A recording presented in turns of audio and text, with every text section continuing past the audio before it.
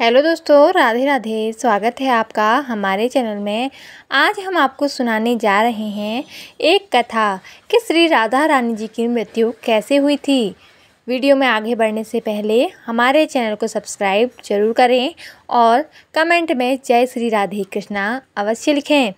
राधा की मृत्यु के बारे में कई तरह की कहानियाँ प्रचलित हैं।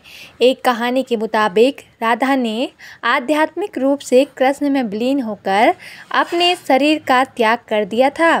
कहा जाता है कि श्री कृष्ण ने दिन रात बाँसुरी बजाई। जब तक राधा आध्यात्मिक रूप से कृष्ण में विलीन नहीं हो गई, राधा के जाने के बाद कृष्ण ने अपनी बाँसुरी तोड़ दी और दो टुकड़े कर उसे फेंक दिया।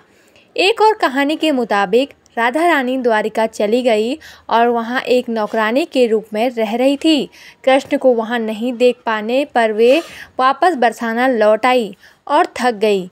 तब कृष्ण प्रकट हुए और आखिरी बार अपनी बाँसुरी बजाई और राधा रानी कृष्ण की बाहों में दम तोड़ दिया। तो दोस्तों, आपको आज की कहानी कैसी लगी? मिलते हैं जल्दी ही एक नई कहानी लेकर। धन्यवाद। जय माता दी।